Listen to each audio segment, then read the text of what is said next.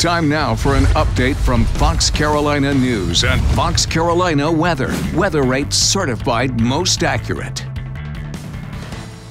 Good morning. Time for your news and weather morning update from Fox Carolina News. COVID 19 numbers keep surging.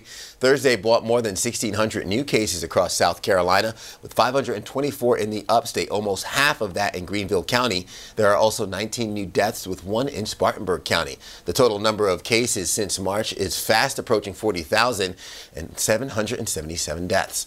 Moving to North Carolina, more than 68,000 cases so far, with nearly 1,400 deaths. And as for Georgia, more than 87,000 cases with over 2,800 deaths. Now let's get a quick check of that forecast. Meteorologist Nicole Pape.